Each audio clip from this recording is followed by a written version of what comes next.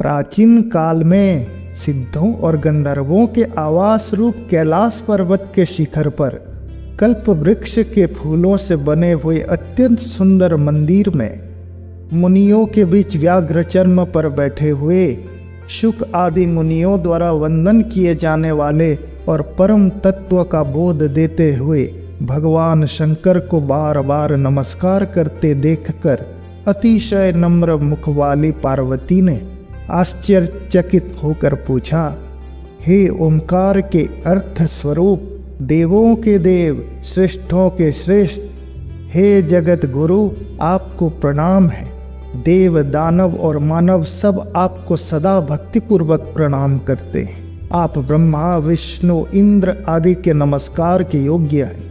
ऐसे नमस्कार के शाश्वत रूप होने पर भी आप किसको नमस्कार करते हैं?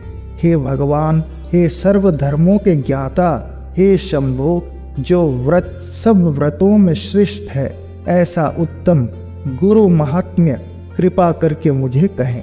इस प्रकार पार्वती देवी द्वारा बार बार प्रार्थना किए जाने पर महादेव ने अंतर से खूब प्रसन्न होते हुए पार्वती से इस प्रकार कहा, यह तत्व रहस्यों का भी रहस्य है, इसलिए कहना उचित नहीं। पहले किसी से भी नहीं कहा। फिर भी तुम्हारी भक्ति देखकर वह रहस्य कहता, हे देवी, तुम मेरा ही स्वरूप हो, इसलिए तुमको कहता तुम्हारा यह प्रश्न लोक का कल्याण कारक है, ऐसा प्रश्न पहले कभी किसी ने नहीं किया। जिसको ईश्वर में उत्तम भक्ति होती है, जैसी ईश्वर में वैसी ही भक्ति जिसको गुरु में होती है, ऐसे महात्माओं को ही यह कही हुई बातें समझ में आएगी। जो गुरु है, वही शिव है। जो शिव है, वही गुरु है। दोनों में जो अंतर मानता है, वह गुरु पत्नी गमन करने वाले के समान पापी है। यो गुरु स शिव, प्रोक्तो यह शिव स गुरु स्मृत। विकल्पम यस्तु कुर्वित, स नरो गुरु तल्पग। हे प्रिय वेद शास्त्र पुराण, इतिहास आदि मंत्र, यंत्र, मोहन, उच्चाटन आदि विद्या, शैव, शाक्त, आगम और अन्य सर्व मत मतांतर ये सब बातें गुरु तत्व को जाने बिना भ्रांत चित्त वाले जीवों को पथभ्रष्ट करने वाली है। और जब तप, व्रत, तीर्थ, यज्ञ, दान, ये सब व्यर्थ हो जाते हैं। हे सुमुखी, आत्मा में गुरु बुद्धि के सिवा अन्य कुछ भी सत्य नहीं है, सत्य नहीं है। इसलिए इस आत्मज्ञान को प्राप्त करने के लिए बुद्धिमानों को प्रयत्न करना चाहिए। जगत गुण अविद्यात्मक माया रूप है और शरीर अज्ञान से उत्पन्न हुआ है। इसका विश्लेषणात्मक ज्ञान जिसकी कृपा से होता है, उस ज्ञान को गुरु कहते हैं।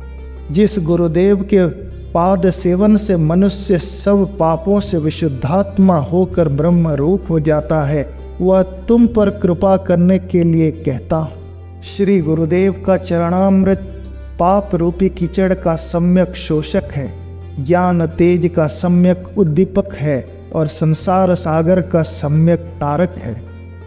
अज्ञान की जड़ को उखाड़ने वाले अनेक जन्मों के कर्मों को निवार करने वाले, ज्ञान और वैराग्य को सिद्ध करने वाले श्री गुरुदेव के चरणामृत का पान करना चाहिए।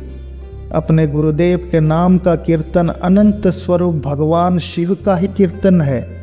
अपने गुरुदेव के नाम का चिंतन अनंत स्वरूप भगवान शिव का ही चिंतन है। गुरुदेव का निवास स्थान काशी क्षेत्र है। श्री गुरुदेव का पादोदक गंगा जी है। गुरुदेव भगवान विश्वनाथ और निश्चय ही साक्षात तारक ब्रह्म है। काशी क्षेत्र निवासंश्च जह्नवी वरणोत्वकम। गुरुर्विश्वेश्वर साक्षात तारकम ब्रह्म निश्चय। गुरुदेव की सेवा ही तीर्थराज कहा गया है। गुरुदेव का शरीर अक्षय वट वृक्ष है। गुरुदेव के श्री चरण भगवान विष्णु के श्री चरण है। वहाँ लगाया हुआ मन तदाकार हो जाता है। ब्रह्म श्री गुरुदेव के मुखार विंद में स्थित है। वह ब्रह्म उनकी कृपा से प्राप्त हो जाता है। इसलिए जिस प्रकार स्वेच्छाचारी स्त्री अपने प्रेमी पुरुष का सदा चिंतन करती है, उसी प्रकार सदा गुरुदेव का ध्यान करना चाहिए। अपने आश्रम, जाति, कीर्ति, पातन, पोषण, ये सब छोड़कर गुरुदेव का ही सम्यक आश्रय लेना चाहिए। विद्या गुरुदेव के मुख में रहती है और वह गुरुदेव की भक्ति से ही प्राप्त होती है। यह बात तीनों लोकों में देव, ऋषि पित्र और मानव द्वारा स्पष्ट रूप से कही गई है। गु शब्द का अर्थ है अंधकार, अज्ञान और रू शब्द का अर्थ है प्रकाश, यानी ज्ञान। अज्ञान को नष्ट करने वाला जो ब्रह्म रूप प्रकाश है, वह गुरु है। इसमें कोई संशय नहीं है। गुकार अंधकार है और उसको दूर करने वाले रुकार है। अज्ञान रूपी अंधकार को नष्ट करने के कारण ही गुरु कहलाते हैं। गुकार से गुणातीत कहा जाता है, रुकार से रूपातीत कहा जाता है। गुण और रूप से पर होने के कारण ही गुरु कहलाते हैं। गुरु शब्द का प्रथम अक्षर गु, माया आदि गुणों का प्रकाशक है और दूसरा अक्षर रूप रुकार माया की भ्रांति से मुक्ति देने वाला पर ब्रह्म है। गुरु सर्वश्रुति रूप श्रेष्ठ रत्नों से सुशोभित चरण कमल वाले हैं और वेदांत के अर्थ को प्रवक्ता है। इसलिए श्री गुरुदेव की पूजा करनी चाहिए। जिनके स्मरण मात्र से ज्ञान अपने आप प्रकट होने लगता है और वे ही सर्व संपदा रूप है। अतः श्री गुरुदेव की पूजा करनी चाहिए। संसार रूपी वृक्ष पर चढ़े हुए लोग नरक रूपी सागर में गिरते हैं। उन सब का उद्धार करने वाले श्री गुरुदेव को नमस्कार है।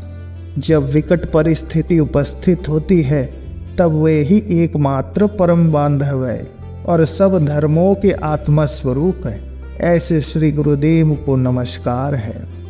संसार रूपी अरण्य में प्रवेश करने के बाद दिमूढ़ की स्थिति में चित्त भ्रमित हो जाता है। उस समय जिसने मार्ग दिखाया, उन श्री गुरुदेव को नमस्कार है। इस पृथ्वी पर त्रिविधि ताप रूपी अग्नि से जलने के कारण अशांत हुए प्राणियों के लिए गुरुदेव एकमात्र उत्तम गंगा जी हैं। ऐसे श्री गुरुदेव को नमस्कार है। सात समुद्र पर्यंत के सर्व तीर्थों में स्नान करने से जितना फल मिलता है वह फल श्री गुरुदेव के चरणामृत के एक बिंदु के फल का हजारवा हिस्सा है। यदि शिवजी नाराज़ हो जाए तो गुरुदेव बचाने वाले हैं। किंतु यदि गुरुदेव नाराज़ हो जाए तो बचाने वाला कोई नहीं।